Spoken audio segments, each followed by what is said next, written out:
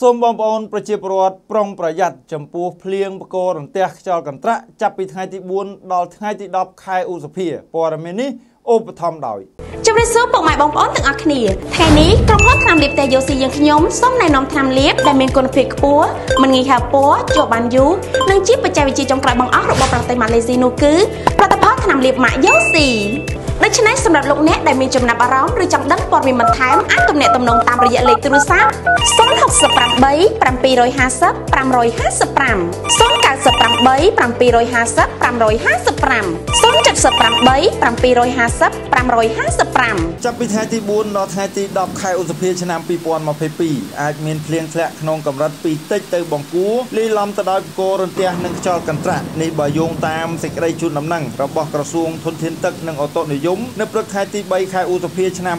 2022ក្រសួងធនធានទឹកនិងអូតូនិយមបានបញ្ជាក់ថាក្នុងអំឡុងសប្តាហ៍ខាងមុខនេះព្រះរាជាណាចក្រកម្ពុជានឹងទទួលរងឥទ្ធិពលនៃជ្រលងសម្ពាធទាបឥណ្ឌាស្ថានភាពបែបនេះនឹងធ្វើឲ្យតំបន់ទំនាបកណ្ដាលសីតុណ្ហភាពអបបរមាមានពី22ទៅ25អង្សាសេសីតុណ្ហភាពអតិបរមាមានពី34ទៅ37អង្សាសេអាចមានភ្លៀងធ្លាក់ក្នុងកម្រិតពីតិចទៅបង្គួរលាយឡំទៅដោយផ្គររន្ទះនិងខ្យល់កន្ត្រាក់ទន្ទឹមនឹងនោះកន្លែងខ្លះក៏អាចមានភ្លៀងខ្លាំងតំបន់កំពង់រាបសីតុណ្ហភាពអតិបរមាមានពី22ទៅ25អង្សាសេសីតុណ្ហភាពអតិបរមាមានពី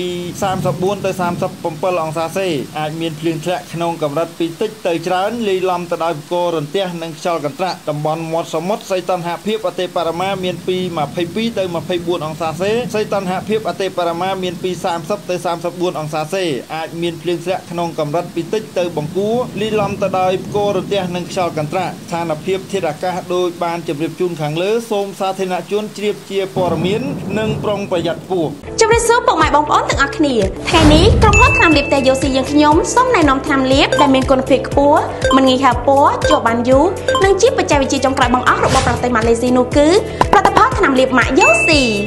ឱកាសពិសេសឱកាសពិសេសក្រុមហ៊ុនថ្នាំលាបយោស៊ីបច្ចេកវិទ្យាចុងក្រោយបង្អស់របស់ប្រទេសម៉ាឡេស៊ីកំពុងត្រូវការបន្ថែមដំណើរចែកចាយប្រចាំតំបន់ជាច្រើនទៀត